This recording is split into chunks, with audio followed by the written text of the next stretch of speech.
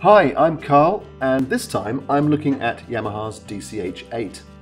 The DCH-8 is designed to be a hub that connects up to eight of the Yamaha digital control panels to either of our MTX or MRX processors. On the front of the panel is the host socket that connects to the DCP socket on the back of your host processor, along with eight other ports that connect to your DCPs. There's no need for an external power supply, so once you've connected up the cables and ID'd your DCP remotes, it's ready to use. There's also no need to program anything in the MTX editor software either. You simply connect it up and run the cables. A nice touch is the adaptable rack ears that allow you to secure it horizontally or vertically in your rack. So why is the DCH-8 so useful? Well, before it came out, we had to connect our DCP remotes in series. And that's fine for some installations, but for others, it's more efficient and cheaper to connect your remotes in a star topology from a central point. And this is where you can use the DCH-8.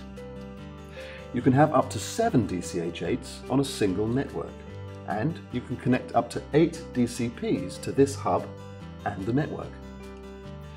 You can simultaneously combine the star topology from the DCH-8 with serial connections for complete flexibility.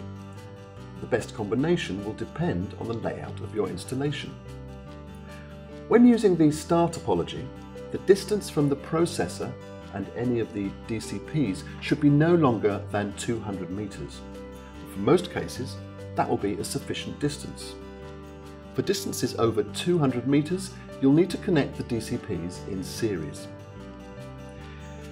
Importantly, after some careful testing, Yamaha has recently announced that it is possible to extend the distance between the processor and the final DCP remote panel if you reduce the number of DCPs in the serial chain.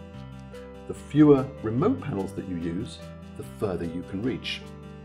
There's a chart that shows you the various distances at yamahaproaudio.com and essentially, if you use all eight DCPs, then the distance between the MTX or MRX and the final DCP can be a maximum of 200 meters.